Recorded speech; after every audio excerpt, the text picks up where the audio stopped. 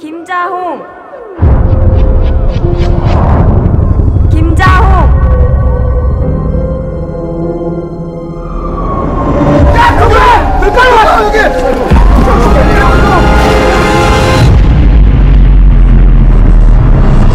귀인이에요. 귀인이에요 귀인.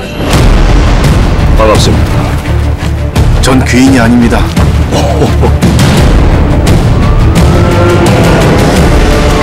난 아저씨 직업 선택이 신의 한 수였다고 봐.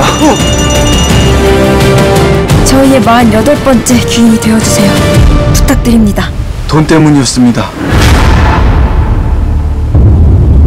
잘못된 신을 섬긴 놈이다 정의로운 망자라면서. 조광장님 업경을 한번 봐주시길 간청드립니다.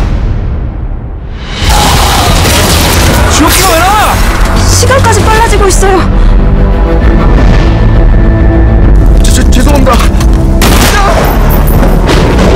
잘 들어라. 원기가 소멸되지 않는 한 김자홍의 재판은 계속해서 위험에 처할 수밖에 없다. 지금 저승법을 어기는 겁니까? 넌 내 명령을 어기고 있는 거고.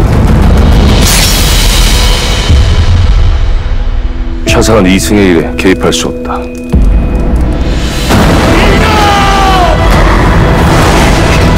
살려주시죠! 당신들은 해줄 수 있잖아요!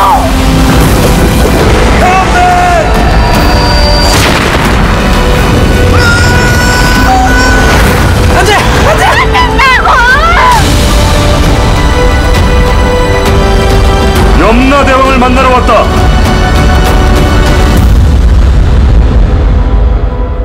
고개 드세요, 김자홍 씨. 당신 아직 죄인 아닙니다.